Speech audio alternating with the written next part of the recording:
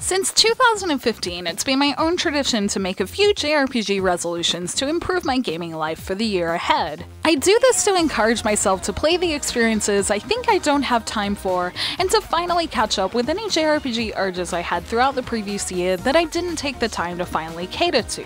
These resolutions always come with mixed levels of success, but they always help me improve my gaming time and are a fun way to start planning what I want to play each year. While keeping up with new releases is a challenge in itself, there are a few things in my JRPG life I've been wanting to do since I've found some new things I liked last year, and also some things I've been wanting to do for a while and never got around to. With those things in mind, these are my three JRPG resolutions for 2018.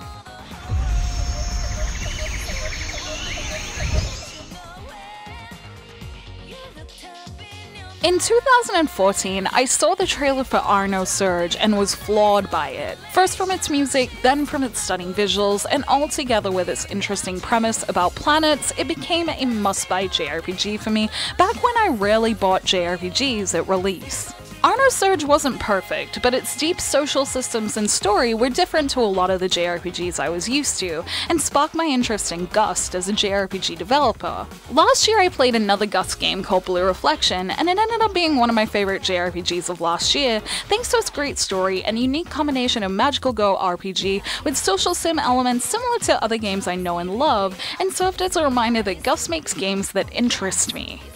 Gust's biggest game series is the Atelier one, and I've had my eye on it for a while but have never actually dedicated the time to playing one of the many parts of the series. With Atelier Lydie and Suelle coming out in English this year and its Japanese demo being free and already out, I'm confident this goal will probably be done and I can finally play the pretty visuals I'm attracted to whenever I see them.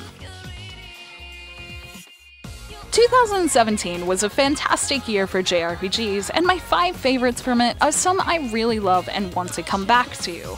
It be for extra social moments I haven't seen yet, or the incredible replayability of some of the titles I loved last year, while I spent many, many hours with all of them, there is still plenty to see, and I want to dive even deeper into them.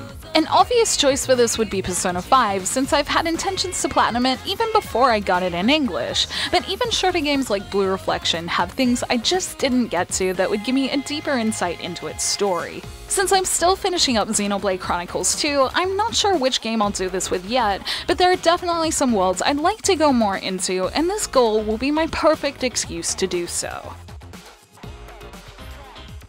Throughout 2017, I had a few really random JRPG cravings of sorts.